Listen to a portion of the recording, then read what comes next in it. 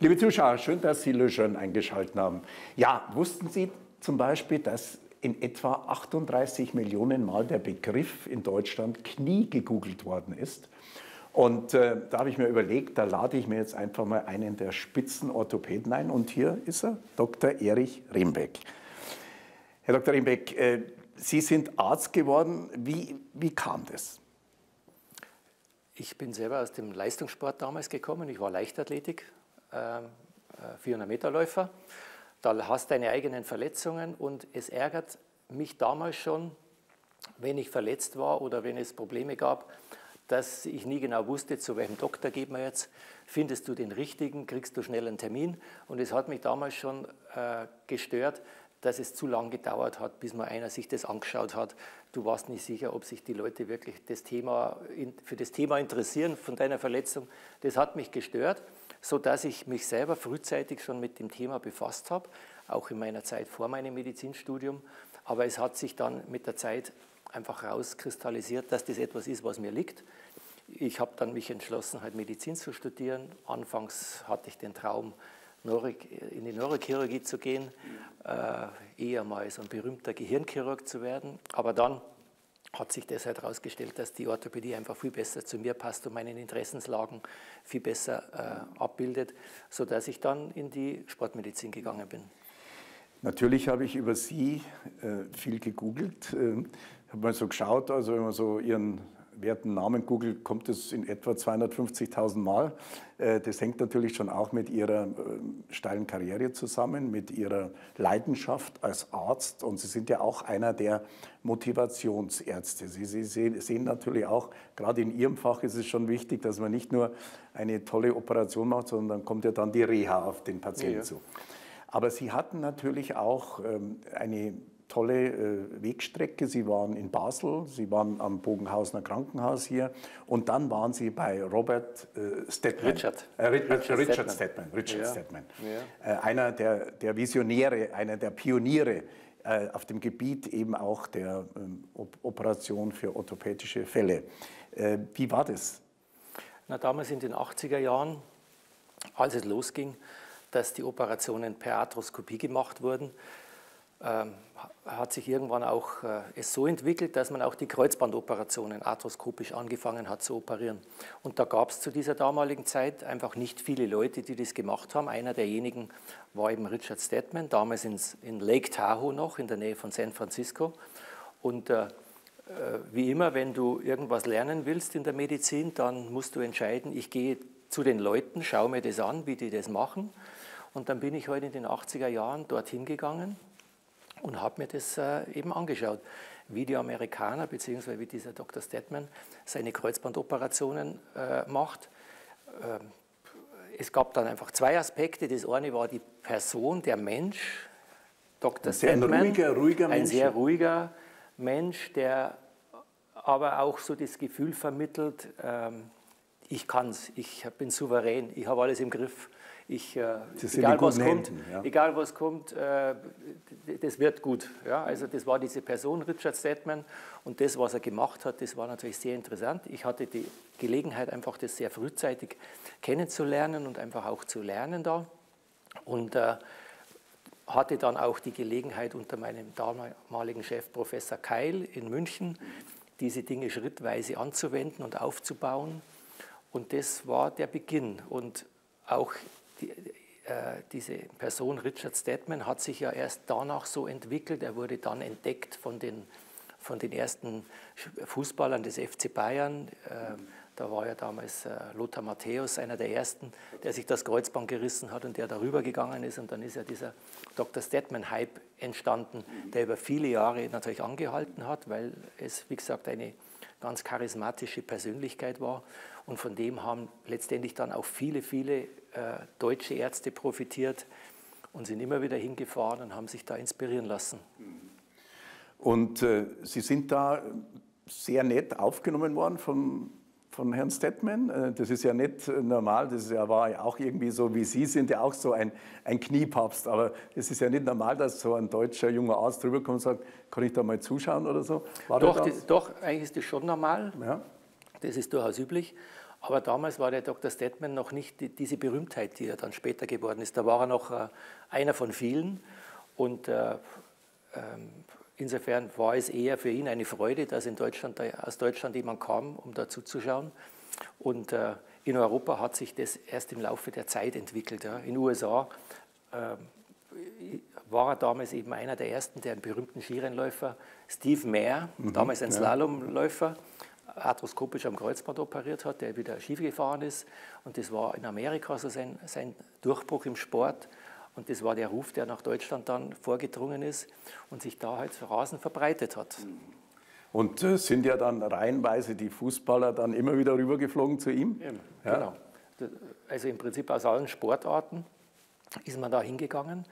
Und das war auch der Erste, der angefangen hat, Operation plus Reha im Paket zu propagieren. Ja, und auch da hatte er super gute Leute, die, das, äh, äh, die, die einfach Neuland mhm. betreten haben. Und das hat mich persönlich halt inspiriert, äh, meine Arbeit so zu machen, wie ich sie jetzt mache. Und äh, Operation und Reha ist ja für uns einfach äh, ein, etwas, was zusammengehört. Mhm. Jetzt äh, gibt es natürlich einen auch sehr berühmten Kollegen hier in München, Müller-Wohlfahrt, der aber äh, sag mal, operativ nicht äh, so stark wirkt. Er schickt immer dann zu Chirurgen. Bei Ihnen ist es ja so, Sie haben ja nicht nur die Operation ständig im Griff, sondern Sie haben natürlich auch die Reha am Laufen, was ja, was ja schon ein Vorteil ist. Ja, heutzutage kann man sich ja nicht mit allen Themen beschäftigen, weil jedes Thema für sich jetzt so, so tiefgründig äh, geworden ist, sodass der eine seinen Schwerpunkt auf das Gebiet legt und der andere den Schwerpunkt auf das Gebiet. Es gibt eben konservative äh, Kollegen, wo Herr Müller-Wohlfahrt dazugehört, der ja, äh, wo es ausgezeichnete äh, Ergebnisse gibt und wo sie, man weiß es ja, wo einfach äh, Dinge entdeckt werden, die jetzt ein anderer, der nicht so tief in der konservativen Therapie drinsteckt, halt nicht so entdeckt. Und äh, das Ideal ist halt, wenn sich diese Leute treffen, die Konservativen und die Operativen und die Rehabilitativen, wenn die ein, ein, ein, eine Gemeinschaft bilden, ja. da kommt am allermeisten dabei raus. Gute Kombinationen aus diesen, aus diesen äh, Leuten sind unschlagbar. Ja, ja, ja. Jetzt, äh, wenn man wieder zu Ihrer Vita zurückkehrt, äh, dann waren Sie ja auch 20 äh, Jahre der Vereinsarzt vom TSV 1860. Äh, das war ja schon eine Zeit, ich kann mich erinnern, Sie waren dann jeden Samstag bei Spielen, die Spieler, die wollten wieder schnell fit werden und das ist ja schon auch etwas, wo man manchmal im Spagat steht. Also auf der einen Seite sagt äh, der Verein, ja, ich brauche den Spieler, auf der anderen sagt der Doktor, nein, nein, nein, nein, das geht dort schnell. Sagst doch da mal was zu dieser Zeit, weil das ist ja auch ein riesiger Erfahrungswert von ja. Ihnen. Das ist, die, das ist die größte Lehrzeit überhaupt die ich für mich äh, erlebt habe, die ich auch jedem empfehlen kann, sowas zu machen, weil die Verbindung der einzelnen Interessen, die man ja nicht nach außen wahrnimmt, ja, dass jetzt ein Trainer nach dem Spieler schreit oder ein Präsident, das nimmst du ja nicht nach außen wahr, das nimmst du ja nur nach innen wahr. Und zwischen diesen Interessen dein medizinisches, medizinisches Interesse zu verfolgen, erfordert natürlich sehr viel Konsequenz erfordert auch viel Erfahrung, weil du musst alle überzeugen, du musst jeden mit einer anderen Argumentation überzeugen, warum du das mit einem, mit einem Spieler machst. Und du hast noch eins, du kannst dir nicht erlauben, irgendwelche experimentellen Dinge zu machen. Ja, du musst immer die Dinge machen, die einfach bewährt sind, wo du überzeugt bist. Manchmal ist es, äh, ist es wichtig, irgendetwas konservativ durchzuziehen, weil das Ergebnis besser ist. Es dauert dann manchmal drei, vier Wochen. Manchmal ist es besser, eine frühzeitige Operation zu machen, weil du weißt, da kommt anders nichts Gutes raus. Also das ist oftmals schon eine, ein wichtiger Spagat und äh, das lernst du am besten mit einem Sportverein, jetzt sagen wir mal so, wo ein, der einigermaßen im Blickpunkt der Öffentlichkeit steht, weil du aus verschiedenen Seiten Druck hast. Medien aber zum ist, Beispiel. Ja. Aber es ist extrem, es ist extrem anstrengend. Ja. Es ist wirklich extrem anstrengend und für mich persönlich ist, war manchmal dieser, dieser, dieser Druck, der außenrum war, um die ganze medizinische Geschichte, viel äh, schwerwiegender als wie das eigentliche medizinische Problem, das man selber gut einschätzen konnte. Und du hast gewusst, das ist das und das, hast eine gescheite Diagnose gemacht, das dauert so und so lang. Aber der Druck, der außen äh, rum entstanden ist, das war manchmal. Auch, auch mit vier Pfui. Tageszeitungen, dann rufen ja, die an und ja, sagen, Herr Dr. Ja, genau. wann kommt jetzt ja, der Spieler? Genau. Damals war es halt so, du, du telefonierst im Prinzip jeden Tag mit jeder Zeitung. Mit jeder Zeitung. Jeden, jeden Tag. Und das über Jahre und das, äh, äh, man konnte nicht immer alles sagen, wie es wirklich ist, weil du darfst ja auch nicht bestimmte Dinge, es gibt ja auch ein Patientengeheimnis, du darfst ja nicht alles sagen, du darfst ja jetzt halt nicht äh, Dinge sagen, die vielleicht für die langfristige Karriere von einem hinderlich wären. Also das war schon, oft, ist schon oft ein Spagat, aber super, super lehrreich und ich möchte das nicht missen. Und wie gesagt, ich kann es jedem der, der Jüngeren empfehlen, einfach mit Sportvereinen zu arbeiten. Man lernt viel, man, es erfordert viel Engagement, es erfordert viel Disziplin, man lernt einfach den Fleiß auch außerhalb seiner üblichen Arbeitszeiten. Das äh, ist eine Erfahrung des Lebens. Mhm. Jetzt äh, haben Sie 20 Jahre im Grunde Fußballer ja, wirklich kennengelernt und mit Ihren zum Teil Verletzungen oder manchmal auch so ein bisschen wie Wehchen und wo, wo, wo man einfach einen Doktor mal anruft und sagt, mei, sie kann ja sein beim schweren Spul und mei und, und, und, und dann sagen sie, komm jetzt spul mal, der fällt nichts und so, dann war der wieder aufgestellt. Jetzt haben sie aber auch Eishockey gehabt. Sie waren also von Hedos, äh, der, der Vereinsarzt, und dann haben sie äh, Tennis Cup, Davis Cup. Das sind ja auch wieder ganz unterschiedliche Verletzungen, die dabei beim ja. Tennis müssen die immer beim Aufschlag hoch springen und, und das ist ja ein unglaubliches äh, medizinisches Know-how, was sie sich da angeeignet haben. Ja, jede, jede Sportart hat seine eigenen, seine eigenen Gesetze, seine eigenen Probleme. Tennis lebt ja mehr jetzt so von Überlastungsproblemen. Da geht es dann mehr darum, äh, Statik, Bewegungsabläufe, Zusammenhänge, die nicht unbedingt jetzt direkt aus dem Knie kommen, sondern die jetzt halt eher aus dem, aus dem gesamten Körper kommen, zu identifizieren. Während am Tennisspiel hast du sowieso nicht viele Möglichkeiten einzugreifen. Das ist jetzt eher etwas, was äh, sich über ein ganzes Jahr so hinzieht, die begleitende Betreuung. Eishockey ist natürlich das Extrem auf der anderen Seite. Da ist damals natürlich noch mehr rund gegangen. Heutzutage ist es ja die Spieler werden wieder ein bisschen besser geschützt. Man kann nicht, äh, jedes Foul wird dann nicht mehr toleriert im Vergleich noch vor 10, 15 richtig. Jahren. Und, äh, aber was die Verletzungsanzahl im Eishockey betroffen hat, da bist du den ganzen Körper schon regelmäßig durchgegangen, operativ.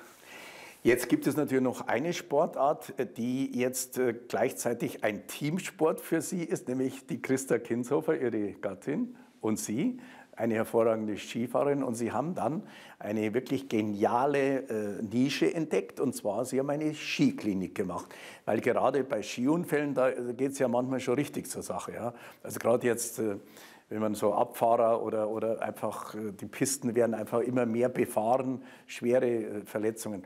Äh, gerade die Skiverletzungen, das ist ja auch so etwas, äh, wo die Bänder oft in Mitleidenschaft gezogen werden. Äh, die Idee ist ja fantastisch und die Idee funktioniert ja, weil eben auch ihre Frau ja aus dem Skisport, aus dem Profi-Skisport kommt und sie äh, hat natürlich auch die Reha-Methoden, die, und da haben sie ja auch unglaublich viele Hightech-Geräte. Sagen Sie doch da mal was bitte dazu. Wir haben damals auf, auf Initiative der Christa, äh, haben wir damals uns gedacht, das gleiche Problem, äh, es passiert wahnsinnig viel über den Winter aber es äh, bedarf einer, von Anfang an einer richtigen Bahnung der Verletzungen und äh, die Patienten gehören richtig abgeklärt und dann gehören sie in die richtige äh, Schiene, ob konservativ oder ob operativ. Und dann, wenn tatsächlich eine Verletzung entstanden ist, dann muss man sich um die Reha kümmern. Und dieses Spezielle, was den Wintersport betrifft, haben wir versucht, in einem Paket in der, in der Christa Kinshofer Skiklinik äh, zu bündeln und zu, durchzustrukturieren und all das, was wir halt an Erfahrungen haben, dort einzubringen, auch damals mit den entsprechenden Leuten, also mit, dem, äh, mit den Schulterspezialisten aus dem Deutschen Schulterzentrum, Professor Habermeier, Professor Tauber und Kollegen, aus unserer Seite mit dem Dr. Rauch und äh, mir.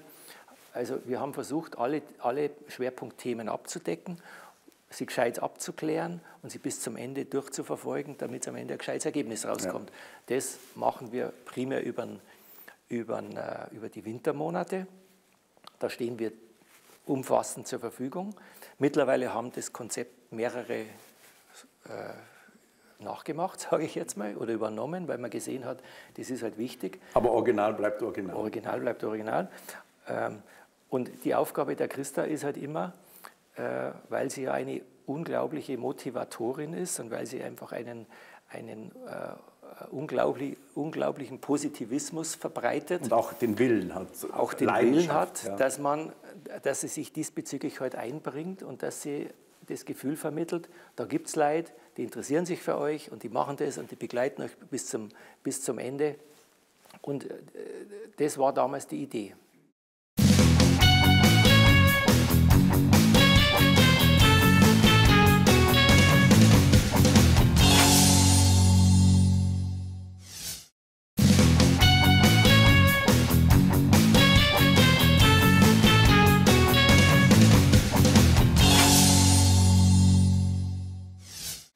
Jetzt äh, ist es so, Sie haben äh, eine wunderbare Praxis hier in München-Bogenhausen und Sie haben einfach auch äh, tolle Ärzte, die Sie einfach angezogen haben und das ist ja auch wichtig. Also ich sage mal Dr. Rauch, der eben ein hervorragender Chirurg ist, wenn es mal wirklich größere Geschichten gibt, offene Brüche etc. Dann natürlich äh, haben Sie auch beste Kontakte, einmal auch zum Bogenhausener Krankenhaus, wo Sie, glaube ich, auch äh, operieren. Dann haben Sie Professor Gollwitzer und Sie haben jetzt noch einen neuen äh, Arzt, der ebenso wirklich in die Richtung geht, eben für künstliche Kniegelenke.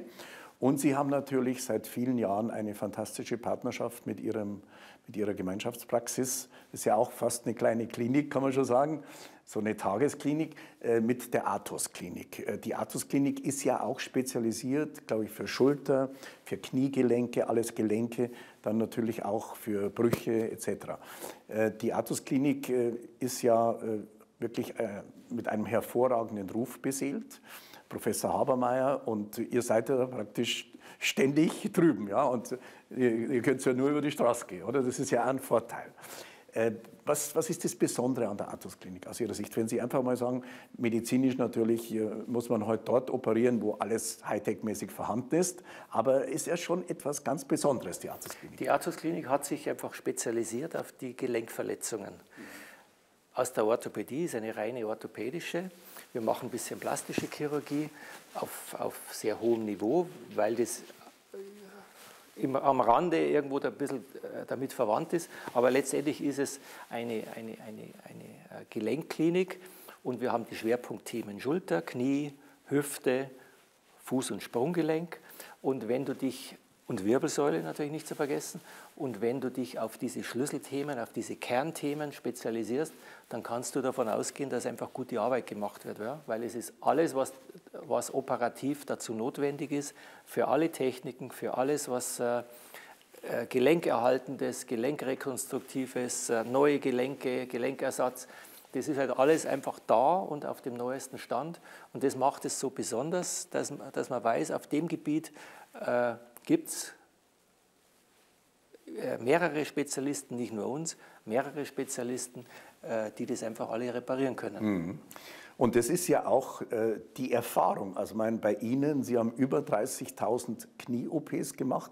Also es ist ja schon eine Ansage. Also, also, und ich glaube, das ist auch etwas für Menschen, die äh, ein Problem haben, dass sie sich auch die Ärzte, wir haben glaube ich in München über 200 Orthopäden, also dass man sich wirklich auch Ärzte sucht, ob das in der Kardiologie ist, ob das in der Urologie ist, äh, Ärzte sucht, die das eben einfach schon sehr, sehr, sehr, sehr oft gemacht haben. Ja. Weil das ist, ist auch, was man halt oft macht, macht man einfach besser.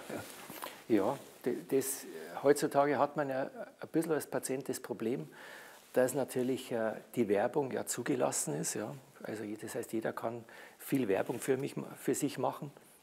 Und für einen Patienten ist es ganz schwierig, einfach den richtigen Weg zu finden. Mhm. Und das äh, ist natürlich immer gut, wenn du dich an Leute wendest, die eine gewisse Erfahrung mitbringen, weil du davon ausgehen kannst, dass die jetzt halt abschätzen können, was ist bewährt und was ist neu, was ist äh, experimentell, was ist vielleicht fraglich. Da kannst du davon ausgehen, dass aus, dass aus dem großen Erfahrungsschatz dieser Leute du die bewährten Methoden an, äh, angeboten kriegst. Ja. Und dann äh, zählt es natürlich auf, auf allen Gebieten, ob du jetzt die Endoprothetik nimmst oder ob du die Arthroskopie nimmst, ob du die Kreuzbandchirurgie nimmst.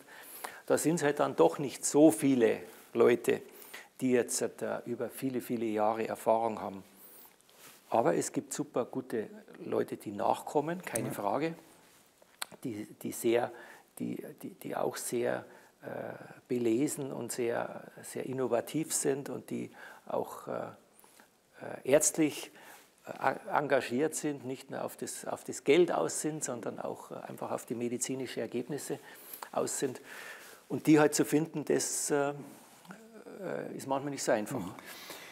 Das ist ein ganz gutes Stichwort, Herr Dr. Imbeck. Also wenn man bei Ihnen in Ihre Tagesklinik reingeht, da ist eine Atmosphäre der Motivation. Also ich nenne jetzt nur mal Frau, Frau Bayer, Ihre rechte Hand, die ist immer mit offenem Ohr da und es gibt immer einen schnellen Termin. Ich, ich oute mich auch gerne als, als, Patient. Dann bin ich halt plötzlich, wenn es einmal zwickt im Knie, ja, äh, ich habe mal so Patellasehne gehabt und das, irgendwann kommt es wieder und dann äh, muss man nicht lang warten.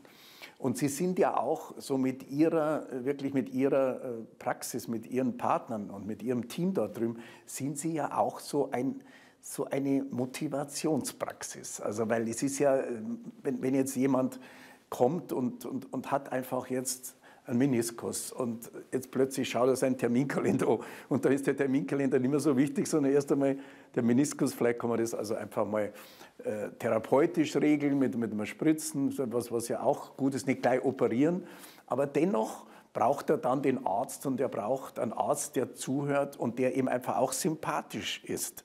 Ja, weil äh, das glaubt man gar nicht, wie wichtig es ist für Patienten, dass der Arzt nicht irgendwie gleich sagt, was haben Sie und, und, und, und schon ist man wieder draußen oder so, sondern auch, wenn man die Diagnose bespricht, wenn man eben einfach Sie haben äh, Professor Gollwitzer, wirklich einer der Großen für Knieersatzgelenke. Das muss man erklären. Der Patient hat ja auch das Recht, dass er einfach mal fragen darf und sagt, tut es dann weh und wie, wie sind die Erfolgschancen und so. Äh, dieses Gespräch, dieser Dialog, äh, wenn man sagt, Sie haben jetzt äh, wirklich, man muss jetzt einfach mal ins Knie reinschauen. Ja?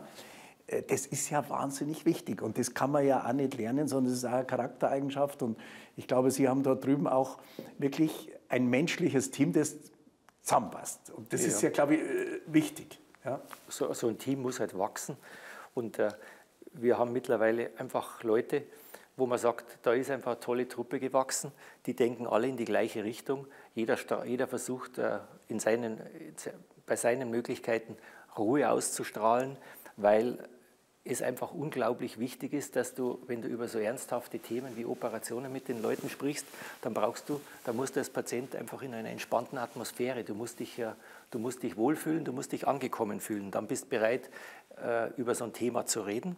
Deswegen achten wir darauf, dass so wie wir unsere Praxis gestaltet haben, dass wir eine gewisse Großzügigkeit haben, dass wir versuchen, den Leuten das Gefühl zu geben, ähm, hier sind nicht 100 Leute auf einmal, sondern hier sind einfach immer nur ein paar Leute. Auch Diskretion. Diskretion und äh, auf, auf diese Weise versuchen wir halt von Anfang an, den Patienten so ein bisschen zu beruhigen. Klar gibt es Tage, wo jetzt einmal besonders viel los ist, da entgleitet uns das auch manchmal, aber meistens gelingt es uns äh, sehr gut, die Patienten ein bisschen zu beruhigen. Nur dann macht es ja auch Sinn, ein Gespräch zu führen.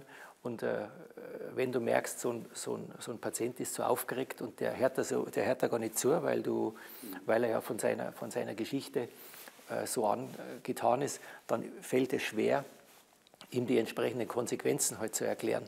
Und das versuchen wir halt mit unserer ganzen Mannschaft äh, zu machen. Alle Leute sind angehalten und machen das zu unserer vollsten Zufriedenheit, dass man mit den Patienten in ruhiger Atmosphäre, mhm. diskret spricht, ihnen das erklärt, um was es geht. Wir versuchen auch den Leuten bestimmte organisatorische Dinge abzunehmen, indem wir äh, ihnen äh, Fremdtermine organisieren sodass er sich über die Dinge, wo er halt unsicher ist, einfach gar nicht mhm. und Sie verfügen so Sorgen machen muss. Über ein hervorragendes Netzwerk und dann, zu anderen dann Ärzten. Ergibt sich, halt, ergibt sich halt ein Netzwerk und da ähm, innerhalb dieses Netzwerkes weiß ich, sind die Leute gut aufgehoben, weil wenn du die Leute woanders hinschickst, dann stehst du letztendlich auch dafür. Wenn du, ja, wenn du eine Empfehlung aussprichst, äh, was ja, nicht immer, was, ja, was ja nicht immer einfach ist, dann stehst du ja auch irgendwie dafür, aber du musst halt äh, diese Leute weiterempfehlen, die in deinem Sinne ja. arbeiten. Und was natürlich auch wichtig ist, dass sie auch den Patienten mit ihrem hervorragenden Team auch administrativ unterstützen. Weil manchmal weiß er nicht, wie, wie, was zahlt jetzt da die Kasse, was muss ich privat sein oder äh, das sind ja alles so Dinge, wo Sie einfach auch hervorragende. Die Dinge werden heutzutage Leute. immer schwieriger. Ja. Die, die, die, Vorgaben, die Richtlinien werden immer, werden immer schwieriger und äh, deswegen versuchen wir den Leuten so gut es geht zu helfen, unter, unter die Arme zu greifen und äh, zu helfen. Ähm, damit sie sich um ihr eigenes medizinisches Team Und auch mal vielleicht auch manchmal dann auch mal vielleicht doch einen Anruf oder einen Brief zu schreiben und, und auch zu kämpfen, dass eben die Kasse schon auch einsieht, dass, dass sie da in die, in die Pflicht äh, Ja, das kommt. gehört heutzutage dazu. Gehört schon dazu, zur das gehört heutzutage dazu. Ja. Jetzt äh, reden wir doch mal übers Knie. Das Knie ist ja schon etwas ganz äh, also was sehr wichtig ist. Und wenn es nicht weh tut, dann denkt man, alles gut, aber weh, da ist mal was am Knie. Da merkt man erst einmal, wie wichtig dieses Gelenk für uns Menschen ist. Ja, man trägt, das, man trägt logischerweise das ganze Gewicht drauf. Und äh, es, ist eins der, es ist eine der Strukturen, die am, am komplexesten konstruiert ist. Dadurch ist es natürlich auch anfällig. Es ist etwas, was äh, im Sport ähm, am häufigsten verletzt ist, weil es eine zentrale Position einnimmt. Und äh, selbst kleinste, eigentlich nicht gravierende äh, Störungen oder Verletzungen machen manchmal so gravierende Probleme, dass die Leute einfach nicht mehr Spaß am Leben haben. Mhm. Das ist so. Ja. Und dann eben einfach auch nicht mehr Sport machen können. Dann kommt die Gewichtszunahme. Äh, man, man fühlt sich einfach nicht mehr, ja. äh, auf Deutsch gesagt, mit beiden Beinen im Leben. Ja, ja da, entsteht ein, da entsteht ein Kreis, ein, ein Kreislauf. Ein Teufelskreis auch. Genau, da entsteht ein Teufelskreis. Du kannst nicht mehr schlafen, ja. weil, weil du jede Nacht aufwachst, weil da was wehtut. Dann wirst du dann wirst, äh, psychisch natürlich labil, dann fängst du an zu essen und dann nimmst du zu, wie Sie schon bereits sagen. Ja. Ja, und so geht es immer weiter. Und da doch noch ein Glas mehr am Abend. Ja. Und dann ist es halt, manchmal bist du dann tatsächlich wieder ausgeheilt, aber dann hast du bereits so viel Gewicht zugelegt. Dass du sowieso so nicht mehr Sport dass, Genau, dass es halt schwierig wird. Ja, ja, Insofern ist das, ist das schon was äh, Wichtiges und man sollte halt immer einfach frühzeitig versuchen zu reagieren, wenn man halt, wenn man halt merkt, da zwickt was, da zwickt was, dann sollte man einfach schauen, dass man der Sache auf den Grund geht. Ich komme nochmal zurück zur Diskretion. Ähm, bei Ihnen äh, sind ja schon die einen oder anderen Weltsportler. Ich sage jetzt keinen Namen, also ich weiß das schon, aber sagen wir jetzt mal nicht, weil es auch das geht. Aber Sie machen ja auch dann manchmal so ein bisschen, Sie, Sie machen dann so einen Termin, wo, der, wo derjenige einfach äh, praktisch alleine mit Ihnen ist, was ja wichtig ist, weil sonst äh, sagt jemand, oh, das gibt es ja nicht oder der sitzt ihm gegenüber, sondern das ist einfach auch die Diskretion bei Ihnen in der Praxis. Ja, das halten wir ganz, das halten wir ganz groß, dass wir das, äh, dass wir das äh, zum, äh, zum Wohle des, des Patienten so handhaben. Bei uns gibt es jetzt wenige Fotos, aus, da gibt es jetzt keine Fotos aus der Praxis, wo jetzt irgendwas fotografiert ist, wer alles da war. Das, Aber wenn Sie das würden, dann wäre wahrscheinlich die ganze, die das, ganze Praxis voll. Ja, also es, es sei denn, uns schenkt mal jemand ein Foto wo, mit irgendeiner Widmung drauf, aber ansonsten treten wir da nicht in die Öffentlichkeit. Mhm. Ja. Das mhm. gehört sich einfach. Und äh, bestimmte Leute äh, gehen auch nicht mehr wohin, wenn sie nicht sicher sind, dass die Diskretion gewährleistet genau, ist. Genau, das ist also e-, egal wo, ob in der Kardiologie oder, oder ja. Urologie, ja. wenn da jemand äh, da beim, beim urologischen Arzt da sitzt und dann ist der berühmte, dann ruft er ja. gleich die Zeitung und sagt, ja. wahrscheinlich stimmt da was mit der Prostata nicht oder was. Also das ist, das ist wirklich auch ein, ein Prädikat von, von, von Ihnen auch. Sie sind auch so, so ein ruhiger äh, und, und auch so jemand, der auf den Menschen eingeht. Und das ist, das ist ja, glaube ich. Aber das trifft, trifft auch für meine Kollegen, Professor Gollwitzer und den Dr. Rauch zu. Auch die haben natürlich das Gleiche, äh, haben ja ein ähnliches Klientel Ja. und auch die äh, achten da sehr, sehr stark drauf, dass man das, äh, die Jetzt, Diskussion äh, Herr einhält. Dr. Rimbeck, bei uns schauen ja viele Menschen zu. Sicherlich, äh, viele kennen Sie, aber jetzt äh, schaut jemand zu und sagt, hm, das war schon der richtige Arzt. Äh, Kann da auch jemand mal anrufen, einen Termin kriegen oder, oder muss man da gewisse Voraussetzungen haben? Wer zu uns kommt, der wird sich vorher informieren, was wir so machen. Mhm. Sie haben wie ja auch so, eine tolle Website Wie so, so. wie so in jeder Arztpraxis und man wird halt heutzutage hast du ja Möglichkeiten, dich zu informieren, Info, äh, Erkundungen einzuholen, zu, Bewertungen anzuschauen, gibt es ja alles heutzutage. Mundpropaganda, Ja. mal ein bisschen sich umhören und wenn man glaubt, das ist äh, der Richtige, für, ist dabei für, für das Problem, dann kann natürlich bei uns jeder anrufen. Klar. Wunderbar. Wir freuen uns auf jeden. Ja. Jetzt äh, äh, sollten wir auch mal über etwas sprechen, äh, was mich also wirklich fast vom Hocker kaut hat. Sie haben München TV die Chance gegeben, dass wir bei einer Kreuzband-OP dabei sein durften.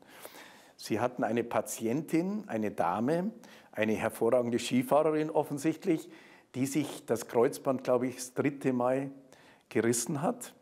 Und, ähm, und ich habe sie dann interviewen dürfen. Und diese Sendung kommt übrigens morgen, also am Sonntag um 21 Uhr in der Sendereihe von mir Motivation Gesundheit. Ich habe sie natürlich schon mal gesehen, also es ist wirklich eine, wirklich eine Mustersendung, wie sowas geht. Aber ich muss Ihnen schon sagen, also wie Sie das gemacht haben, also das war unglaublich. Ähm, das, das haben Sie ja alles arthroskopisch gemacht. Also man, man, normalerweise denkt man Kreuzband und dreimal gerissen. Und äh, sagen Sie doch noch etwas. Also meine, Sie haben das auch in der Sendung wunderbar besprochen. Ich habe Sie ja immer wieder gefragt, aber natürlich als Amateur, ja. Aber äh, das ist unglaublich. Heutzutage begegnet man ja immer mehr Leuten, die sich zum wiederholten Male Kreuzband reißen. Warum- warum also ist das so? Kreuzband ist jetzt einfach ein Thema. Auch andere Dinge können natürlich wieder reißen, aber speziell auf dem Gebiet der Kreuzbandchirurgie ist es halt so, dass, es, äh, dass wir viele Leute haben, die sich zum dritten und zum vierten Mal ihr Kreuzband reißen. Äh, Es ist so, erstens, die Ergebnisse sind natürlich durch die Operationen immer besser, sodass die Leute einfach wieder alles machen können. Und das ist ja unser Ziel. Unser Ziel ist ja nicht bloß, dass jetzt einer wieder gehen kann, sondern dass er einfach alles wieder machen kann. Ja. Ob er es dann am Ende macht, diese Entscheidung, die muss man dann ausdiskutieren. Aber viele äh, sind in der Lage, genauso wieder Ski zu fahren oder Fußball zu spielen oder seinen Sport zu machen wie halt vorher. Also so, als ob nichts gewesen wäre. Logischerweise, äh, man wird ja nicht jünger, man wird jetzt eher älter, man wird manchmal ein bisschen unelastischer, ein bisschen steifer, ein bisschen untrainierter, die Reflexe lassen nach. Oder man Stürzt hat mal. einfach Pech und im, äh, betreibt seine Risikosportart weiter wie Fußball spielen oder wie Handball spielen oder wie Skifahren. Das, das beinhaltet ein gewisses Risiko. Deswegen gibt es halt Wiederholer, die jetzt äh, ihre, ihre, ihre Verletzung wiederkriegen. Und dann, äh, der Mensch hat ja einen bestimmten äh, Reservoir an Ersatzteilen, die man hernehmen kann. In der, für Kreuzbandoperationen kann es im Prinzip äh, grob gerechnet sechsmal, haben wir sechs, sechs Ersatzteile theoretisch, die man, her, die man Und wie, wie hernehmen oft kann. haben Sie schon mal gemacht, so bei, bei Patienten? Naja, so, also dass man jetzt vier oder fünfmal ein Kreuzband operiert hat, nicht immer unsere eigenen, sondern halt auch die woanders operiert waren, das kommt ja regelmäßig vor. Das kommt regelmäßig vor. Ja, und äh, es, wird, es ist jetzt nicht so, dass das einfach beliebig oft wiederholbar ist, sondern es wird dann schon immer ein bisschen schwieriger und ein bisschen, äh, ein bisschen mehr tricky mit äh, mehr Fallstricken, mehr, äh, mehr äh, Problemen oder äh, Zeit in, in der Nachbehandlung. Und trotzdem kann man das alles gut machen heutzutage. Und wir hatten halt eine Patientin, die dieses Pech hatte, dass sie sich zum wiederholten Mal ihr, Kreuzband gerissen hat, eine sportliche Patientin. Und das lief ja alles ganz gut und unkompliziert. Und äh, freut mich, wenn Ihnen das gefallen Ja. hat. Also liebe Zuschauer, äh, schauen Sie bitte morgen rein, Sonntag, also unglaublich. Also da haben wir mit der Patientin gesprochen, dann äh, kam die OP, die Vorbereitung und dann natürlich anschließend war die Patientin munter wie eine Forelle im Bach. gell. Also unglaublich. Also es ist schon, ist schon etwas, etwas ganz äh, Fantastisches. Jetzt, äh, wie hat sich denn, also meine, die Reha ist noch ein Riesenthema. Sie arbeiten ja, glaube ich, sehr eng zusammen mit der ECOS. Äh, das, das sind ja, glaube ich, 50 äh, Therapeuten. Ich glaube sogar, Ihre Tochter arbeitet auch dort, oder? Ja, Luisa? Gefühlte ja. 50, es sind nicht ganz 50, aber ja, durch ihr Engagement, weil sie natürlich überall sozusagen zu finden sind, hat man das Gefühl, es sind 50, aber es sind ein bisschen weniger. Weniger. Aber, aber so das ganze es, Team so mit, mit halt, Ihnen? Ja. ja. ja. Es, ist halt, es ist halt einfach das, äh, jetzt würde ich mal sagen, das A und O, wie gut es am Ende dann tatsächlich wird. Du kannst als Operateur nur den Ausgangspunkt äh, liefern mit einer Operation. Du musst eine gescheite Diagnose, du musst wissen, was fehlt dem genau, du musst das gescheit abklären und dann musst du eine Strategie entwerfen und äh, das musst du mit deinen guten Leuten einfach äh, absprechen.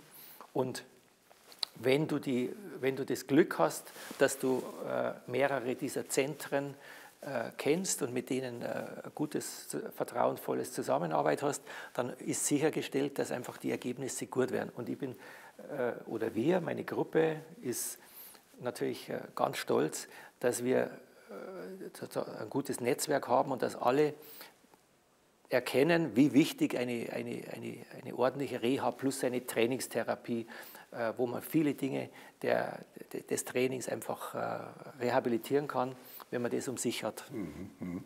Und, und vor allen Dingen ist es ja auch wichtig, dass der Arzt oder Ihre Ärzte dann auch mit, mit den jeweiligen äh, Therapeuten dann auch sprechen. Und, weil nicht, nicht jeder Meniskus muss er gleich behandelt werden. Das ist immer ja, unterschiedlich, individuell. Läuft, eine Reha läuft auch nicht immer so, dass du jetzt am, am Tag 1 sagst, am Tag 30 macht man jetzt das und am Tag 40 macht man das. So läuft der Reha nicht, sondern du musst da zielorientiert arbeiten. Du musst sagen, nächstes Ziel ist das und wenn das erreicht ist, dann kommt jetzt Ziel Nummer sowieso und manchmal dauert es halt eine Woche länger. Dann muss, der, dann muss der Arzt sagen, ja, das ist normal, mach ein bisschen langsamer oder mach ein bisschen schneller. Also es ist schon eine, eine, eine gute Arzt-Reha-Einheit, hat, hält öfter Rücksprache, auch wenn es der Patient gar nicht mitkriegt um, die Ziele äh, optimal durchzuarbeiten.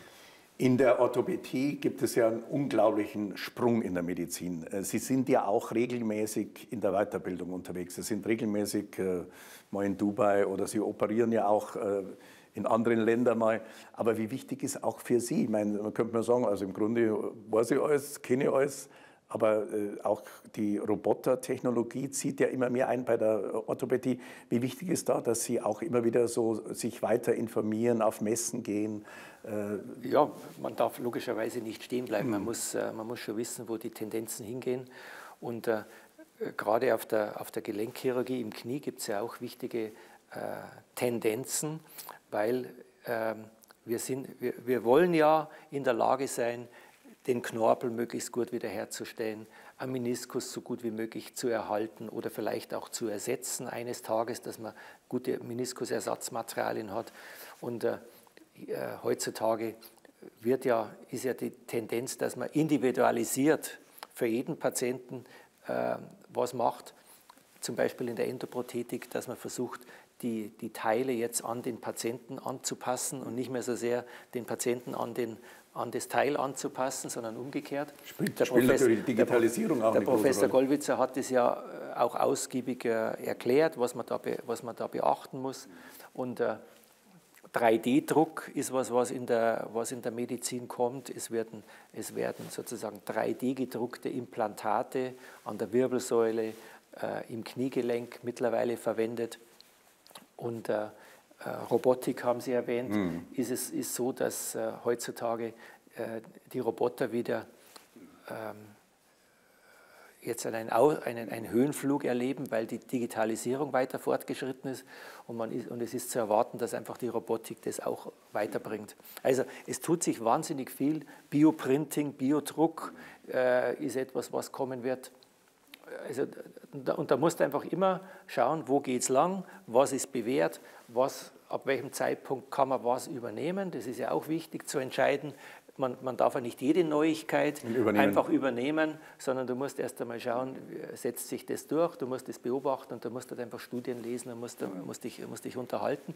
Und so machst du damit automatisch deine, deine persönliche Weiterbildung. Herr Dr. Rembeck, vielen herzlichen Dank für das schöne Gespräch. Ja, liebe Zuschauer, das war das Gespräch mit Dr. Erich Rembeck, ein Spitzenorthopäde hier bei uns in München, der Hauptstadt in Deutschland der Medizin. Und bitte schauen Sie morgen rein, 21 Uhr Motivation Gesundheit. Da sehen Sie eine äh, Kreuzbandoperation von Dr. Erich Rembeck und ich durfte auch dabei sein, allerdings durfte ich nicht äh, assistieren. Wir sehen uns wieder beim nächsten Talk. Bis dahin noch eine schöne Zeit.